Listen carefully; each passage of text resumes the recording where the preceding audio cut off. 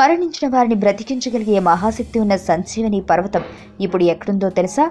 చనిపోయిన మనిషిని బ్రతికించడం కష్టమని మనందరికీ తెలుసు. అది సాధ్యం కాదు కూడా. కానీ రామాయణంలో రాముడికి రావణునికి జరిగిన యుద్ధంలో లక్ష్మణుడు చనిపోయినప్పుడు సంజీవనితో తిరిగి బ్రతికించారు. ఈ విషయం గురించి దాదాపు రామాయణం తెలిసిన వారికి తెలిసే ఉంటుంది. ఆ సంజీవుని గురించి ఇప్పుడు మనం తెలుసుకోబోతున్నాం. హనుమంతుడు సీతారాముల దాసునిగా రామభక్తునిగా విజయ ప్రదాతగా రక్షకునిగా హిందూ మతంలో అత్యంత భక్తి శ్రద్ధలతో కొలువబడే దేవుడు. ఆంజనేయ స్వామి ఆంజనేయుడు హనుమాన్ బజరంగబలి మారుతి ఆంజనేయసుతుడు వంటి ఎన్నో పేర్లతో హనుమంతుని ఆరాధిస్తారు. ఆంధ్రప్రదేశ్లో హనుమంతుని గుడి లేని ఊరు అరుదు. శ్రీరాముని దేవాలయంలో సీతారాములు ఎదురుగా చేతులు మోడ్చిన హనుమంతుడు ప్రతిష్ఠింపబడడం సాధారణం. ఇలా రామాలయాలు అన్నీ హనుమంతుని ఆలయాలే అనొచ్చు. ఇంకా హనుమంతుని దేవాలయాలు చాలా ఉన్నాయి. వీటిలోనూ సీతారాముల పటము విగ్రహాల్లో ఆలయాల్లో ఉండడం సాధారణం.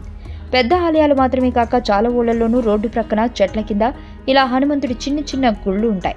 భయపహరిగా ఆంజనేయుడు పల్లెల్లో హిందువులకు వెన్నంటి ఉండే దేవుడు. ప్రాచీన కాలంలో ఒక వానర జాతి ఉండేది.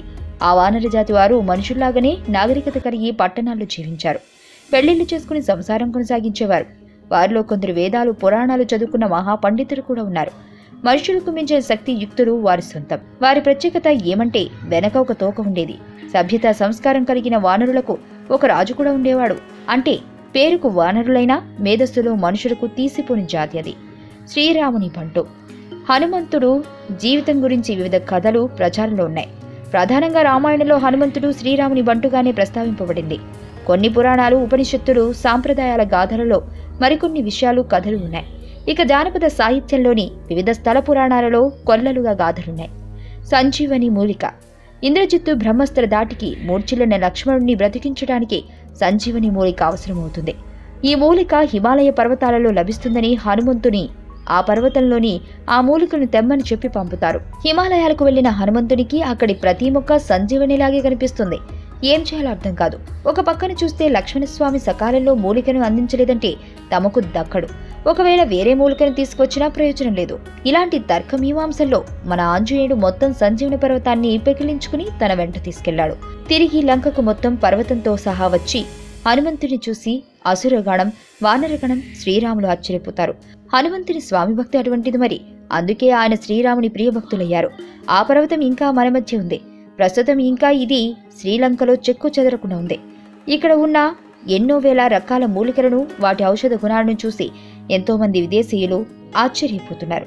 హిమాలయాల చుట్టుప్రక్కల గ్రామాల ప్రజలు తమకు ఏ వ్యాధి వచ్చినా ఇక్కడ మూలికలు ఉపయోగించుకుంటారట.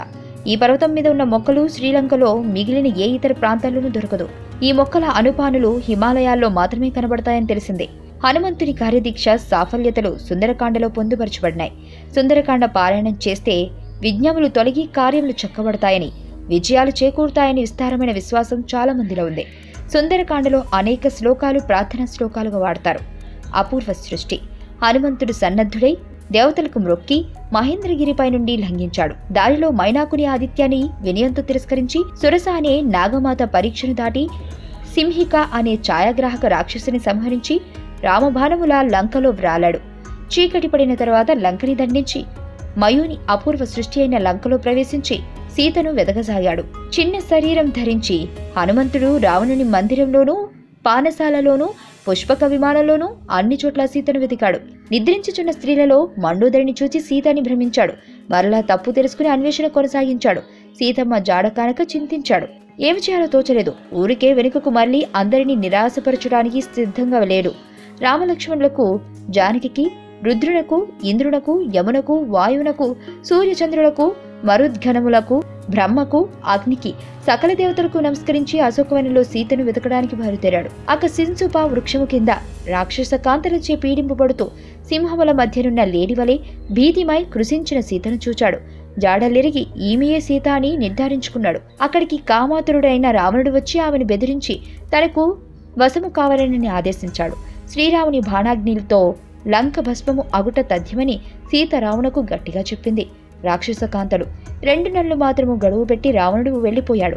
రాక్షసకాంతడు సీతను నయన భయాన అంగీకరింప చేయాలని ప్రయత్నిస్తూ ఉండటం వల్ల ప్రాణత్యాగం చేయాలని సీత నిశ్చయించుకుంది వారిలో సహృదయమైన త్రిజట అనే రాక్షసకాంతకు ఒక కల వచ్చింది తెల్లని ఏనుగునెక్కి వచ్చి రామలక్ష్మణులు సీతను తీసుకుని పోయినట్లు రావణ దూతలంతా హతమైనట్లు వచ్చిన ఆ కలవిని రాక్షసకాంతులు భీతిల్లారు. సీతకు శుభ శకునాలు కనిపించసాగాయి. ఇక ఆలస్యం చేయరాదని హనుమంతుడు సీతను కనిపించి మెల్లగా తన వృత్తాంతమును రాముని దుఃఖమును వివరించి రాముడిచ్చే ఉంగరాన్ని ఆమెకు అందించాడు.